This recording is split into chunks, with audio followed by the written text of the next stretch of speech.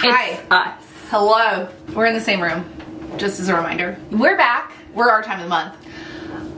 Not even gonna, we're just gonna not even talk about We're not addressing it. No. It's favorites, y'all. It's favorites. Ah! We haven't done one of these in a minute, so we have some quite fun new ones. Perk of not filming, you got a lot of time to figure, to round up your faves. to like things Uh-huh. and hate things. Oh yeah, I'm doing a lot of that too. Oh. I'm using so many things up. I hated something yesterday. Now I don't remember what it was. Mm. Oh, my empties bin was overflowing. Oh yeah. Yeah, check back for that video because that's coming too. Mm-hmm. Uh, top down. Top you, down. I don't have any tops. Do you have any tops? I actually do. Wow. Yeah, so I've been going shorter every time I get my hair cut. I think it's like three weeks grown out right now. I'm gonna get a cut next week. I have a lot of cowlicks, which I always knew. And even though I've had this short hair for nearly two years at this point, I feel like I'm still struggling with them and I don't know exactly how I should style my hair to make them less noticeable to work with them and not against them and I was at our friend's birthday happy hour a few weeks ago and my previous hairstylist who I still love she was there and she was like why don't you try combing your hair forward a little bit more when it's shorter because then your cowlicks won't fight it. And so I started doing that and I really freaking loved it. It's too long to do it now because it would be like a full bang here. So I think I'm gonna tell her to trim It's like a comb over. more. Yeah, I think I'm gonna tell her to trim more in the front next time because I did enjoy that style and the way I was getting it to look really good was with a spray wax. So I bought 2 mm. That was a really long story to tell you. This Spray wax. favorite. No, that was a very Caitlin-esque story. Spray wax. red. Long story long. Really. Redken Spray Wax Wax Blast. It's a fine wax mist for textured looks. I love it. I had used an Oribe wax in the past and it was fine, but I would never pay that price and also it was a little too tacky. Hmm. This is just enough. It's the Goldilocks. It's really, really good. And so when my hair is shorter, even I'm even using it today. It's the only product in my hair. Hmm. I just spray the shit out of it and then I can just Manipulate. twisty twisty, lay, done. Be the artist that you are. Artist. I've not been blow drying it. Great. That's amazing. I know. I'm Ugh. really leaning into the lazy gal hair. I don't think I can go back. I really don't. That's really annoying that you're keeping your hair so healthy and you just cut it off every three weeks. Right? You're finally doing all the good things and then you're like, mm, gone. Yep. Okay, the very first thing, which was like my thing that inspired favorites, I forgot it. Oops. Uh, but it is for your face. I am currently wearing it today. I'm wearing it every day. It is the Kosas SPF. Why don't I look up the actual name? Drops. Sure. You know what I mean. Look it's all over it the is. internet. I absolutely, I think, was either TikTok or Instagram influenced, but it has become my only foundation. Yeah. I it's the first product that's ever gotten me to wear SPF every single day consistently. And actually because I got that like Sephora kit I am layering like SPF primers or moisturizers under it and then layering on top. And it just it does feel kind of like a very thin sunscreen. Um like kind of watery. It reminds me of my Kosas tinted foundation, but it's thicker. Um, so I do sometimes use that one, but I really, really am loving the SPF in this. I just feel like it, do, it doesn't feel, I forget. I forget Yeah. that I have makeup on when I'm wearing it, which I think is excellent. If you do put it on and don't put on the rest of the makeup, that's fine. It's not like you're gonna look like you have foundation face and then no other makeup. And also I feel like it's really glowy.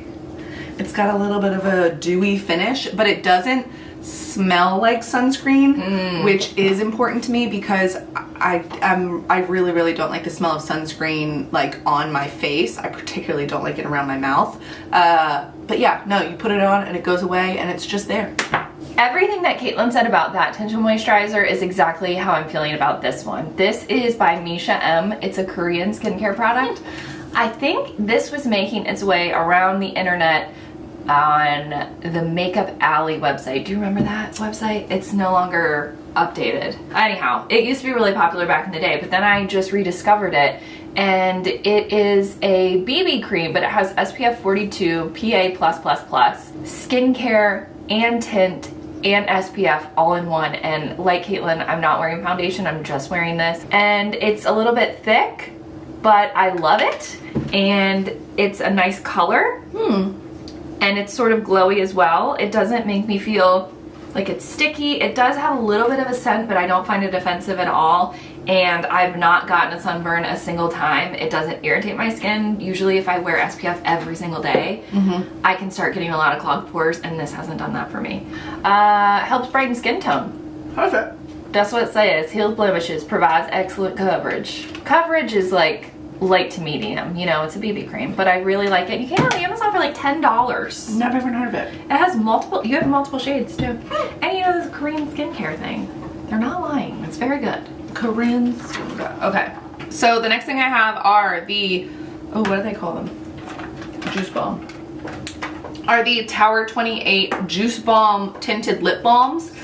Uh, Danielle and I got a little frisky and went ahead and just bought every shade a couple weeks ago. And I just find myself, well, you just watched me, I think, early in this video, just, mm, I just, all the, just, just, mm. Just like that. I just pop it out of my purse and I'll just, Just like that? it's somehow not nearly as I don't want to say embarrassing, but there's something I always feel weird about like applying lipstick in front of other people. Oh. Like in a crowd, not other women, Right. but like in a mixed party, I guess.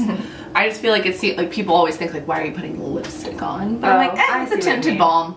So yeah, I'll just. I love that it looks like a crayon. It's easy peasy to wear. It's very. I actually use it a lot as a chapstick because my Mm-hmm. chapstick was discontinued. So it definitely is moisturizing. It definitely has a little bit of a hint of a tint. Um, no complaints. Love it. Love it. I think mine is the brighter one. It's orange. I don't wear it as often, but when I do, I do love it. I think I would. I think I would get that one too. I think I would get that one. Two blushes. Cheater. really, really love a baby pink, a cool tone pink right now. And these two are my favorites. The first one is under $5. It's by Essence and it's called Baby Got Blush. Mm. This shade is called Tickle Me Pink and it does have a little bit of a watermelon scent. Oh. So Caitlin and I tried these when we went away together. Oh yeah. She wasn't wild about the fragrance, but I don't mind it and I also love the color. It's super easy to blend. It wears all day. That's not an easy task for a cream blush. So they have this, they have it in I think a deeper, more cranberry shade. They have it in a um, like an orangey coral shade, which I also have and I love. And then this is Stockholm by Merit.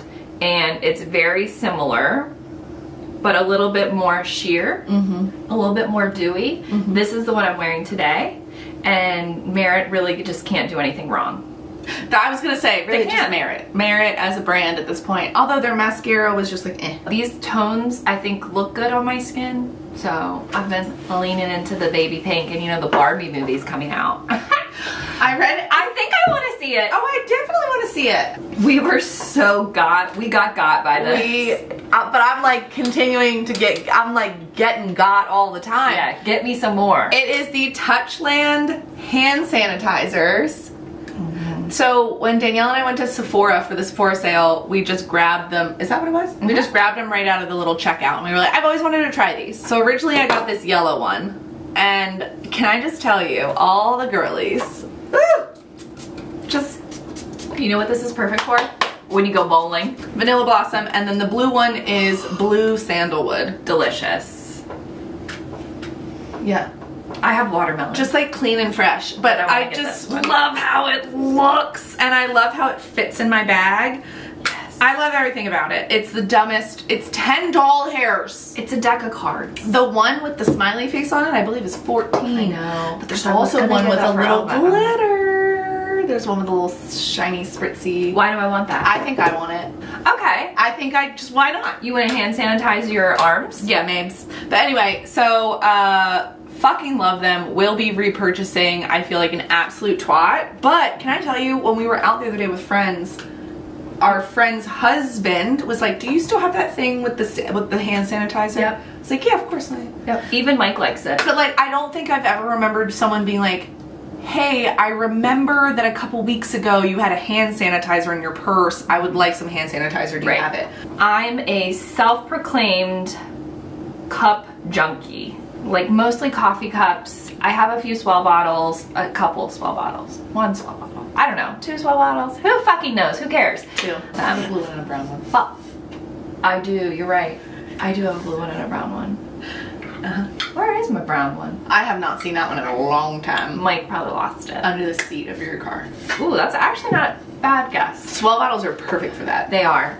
Um, I'm really, really picky with water bottles because I don't really like, t- I don't really like to tip the bottle back and drink that way because I'm a very messy person. It doesn't matter how many times I've drank over the years, I still dribble, dribble, dribble all the time. I don't know what's wrong with me. I think it's because I have such big teeth. So I wanted a water bottle that had a built-in straw in it, but I was like, I don't want the Stanley. First of all, I think it's way too big and I don't want to be, like, I can't have this fucking hand sanitizer and a Stanley because then I'll just, someone will kill me. I might, it might be myself. I might off myself. I was out of Whole Foods doing a little grocery shopping after a yoga class. Unbeknownst to me, I had left my water bottle at the yoga studio. Mm. It was like I knew that I needed a new one. I hated it so much.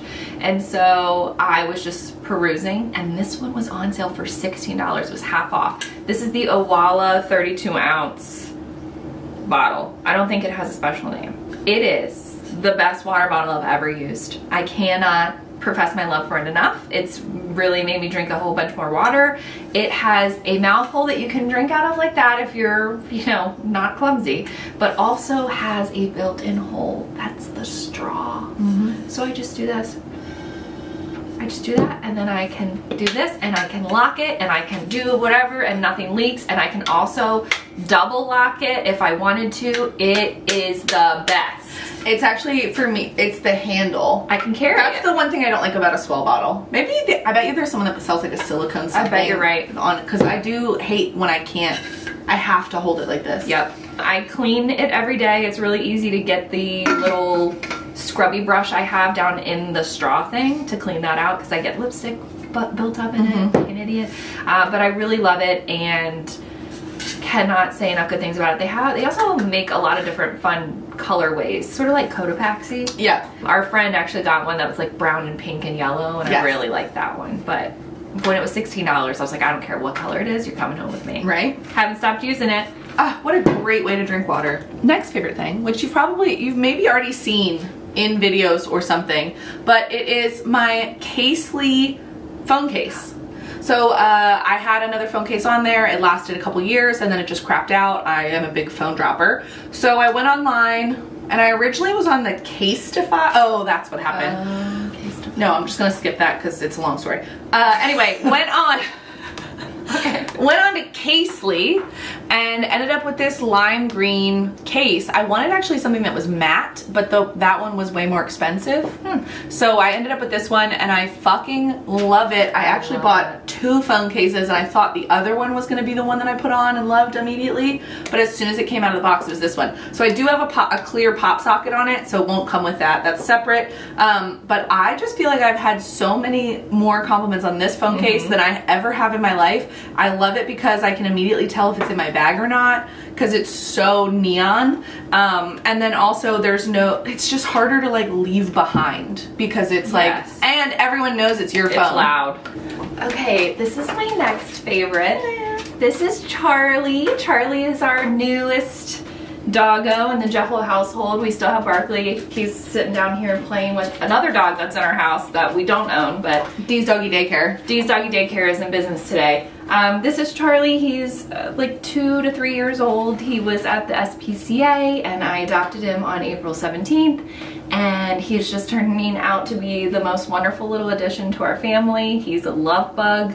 He's so sweet. He's distrustful of a lot of people at first, but then he comes around and he's just a little leggy guy. He's just a baby. He's just a baby. He's just a baby. He's just a baby.